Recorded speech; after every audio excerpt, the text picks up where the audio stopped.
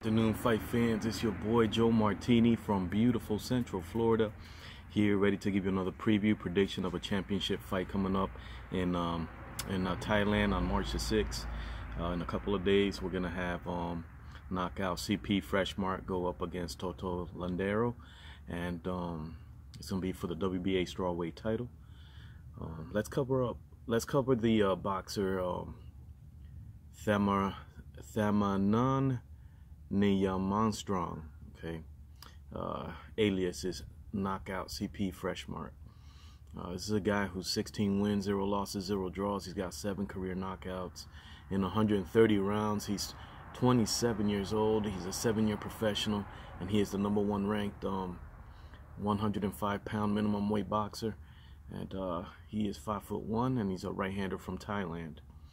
Um, some notes about him are that uh, he's only fought one boxer with a losing record, and um, you know he's a former Muay Thai and amateur uh, boxing national champion. Um, he brings a lot of previous experience, although he's 16 and 0 as a professional. Um, he has two wins against undefeated boxers with 10 or more wins. Um, so, and all his fights have been in Thailand. He has yet to fight in the United States. We don't know if he ever will, but all his fights have been in Thailand. He's defeated fighters from six different countries, though. Talking about the Philippines, Indonesia, India, Nicaragua, Venezuela, and Japan. But he's never fought a Thai fighter before, which is interesting because all his fights have been in Thailand, and he is from Thailand.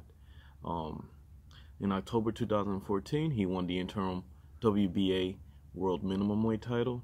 And he is 2 0 against fighters who have held world titles in their career. Um, he defended the interim WBA title three times.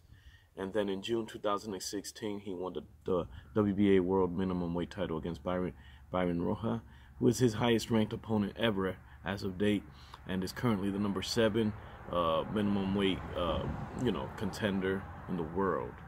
Um, he's going for his fourth defense in a row of his world title, and uh, he's going to be facing a guy by the name of Toto Muscovado Landero. Uh, Landero has 10 wins, 1 loss, 2 draws, 20, 2 knockouts, just 2 knockouts in 81 rounds. He's 22 years old. He's a 6-year professional, the 27th best 105-pound boxer in the world. He is a 5'3 right-handed fighter from the Philippines. Um, some notes on him is that this will be his first fight outside of the Philippines. Um, he's on a two-fight win streak himself. Um, he's never uh, faced a world champion in his career. Uh, when he fought a fighter in the top 10. He got knocked out in 2016. This was versus, versus Joey Canoy. Uh, his best win um, is against currently 16th ranked Vic Saludar, a split decision in 2017. Uh, this will be a walk in the park uh, for Freshmart. An easy win against a fighter who is one and one with no knockouts when facing a top 20 fighter. You know, I'd like to see Freshmart um, basically um, take on the two other undefeated champions in his weight class, Moonsri, who is 49 and 0, one fight away from tying Floyd Mayweather's record, and uh, or even Kyoguchi from Japan, who is 9 and 0. He's the IBF champion. Uh, Landero connects well, but he has no power.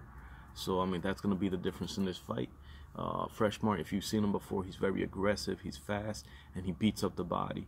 So um, it's all a, a recipe for a win. And um, I think it will be a knockout in the later rounds for Freshmart. Okay, I'm going to go back to enjoying this hot dog. Your boy, Joe Martini. One.